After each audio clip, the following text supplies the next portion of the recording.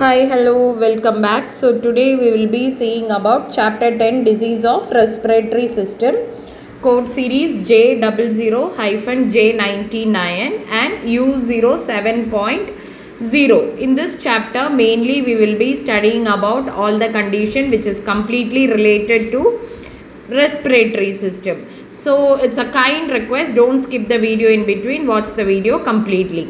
So chapter 10 of ICD 10 CM is widely classified into acute respiratory infection J00 to J06, lower respiratory infection J40 to 47, pneumonia J12 to J18, asthma J45, COPD J44, other respiratory condition J60 to J70. U07.0 is for COVID-19. So COPD, for COPD and asthma, both chronic respiratory conditions differ significantly in their causes and symptoms. So COPD, COPD is a group of disease that cause air blockage and breathing related problems. The primary conditions under COPD include chronic bronchitis and emphysema.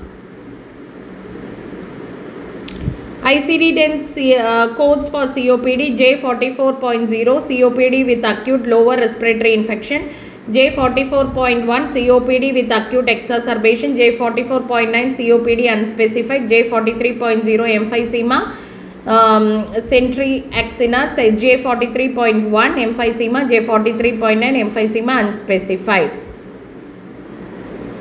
acute exacerbation of COPD and uh, CO um, chronic obstructive bronchitis and asthma.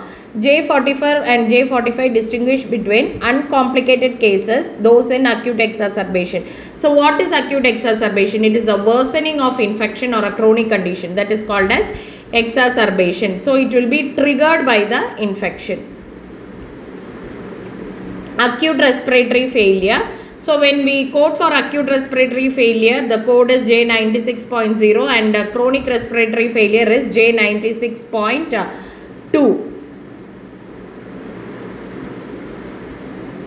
So this will be given as a primary diagnosis if it is a reason for encounter to the hospital. When acute respiratory failure will be coded as a secondary diagnosis.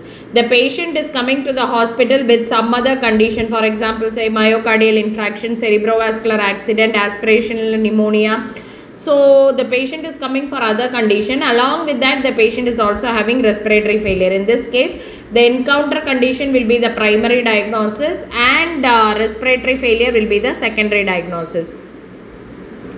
Influenza due to certain identified influenza virus.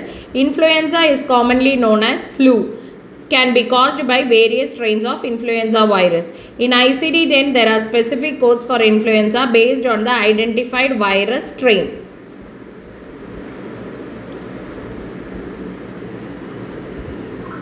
So, uh, key codes for influenza due to certain identified influenza virus.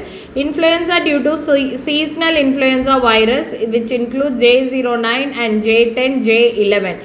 Influenza due to specific identified virus. Like uh, whenever we are coding for influenza virus no we have to see whether it is identified or it belongs to other specified or unidentified virus. If the virus is identified you have to give j09 if it is uh, uh, belongs to other specified give j10 and unidentified give j11 ventilator associated pneumonia. If the primary reason for encounter is ventilator associated pneumonia the primary code will be j95.851 for ventilator associated pneumonia and second code should be for the organism b96.5 here pneumonia uh, we no need to code.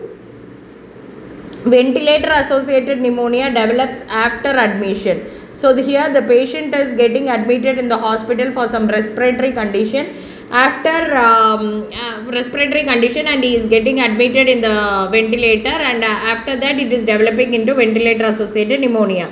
So first code for uh, the reason for encounter respiratory condition and second code for ventilator associated pneumonia and third code for the organism vaping related disorder vaping related disorder are a new category of health issues which is linked to the use of electronic nicotine delivery system commonly known as uh, e-cigarettes or vapes by using these uh, e-cigarettes it will cause damage to the uh, lungs. That condition is called as vaping related disorder. So we have to code U07.0. So that's all about chapter 10 ICD 10 CM guideline. If you have any doubts, you can put it as a comment also. Thank you so much for watching. If you haven't subscribed, please do subscribe.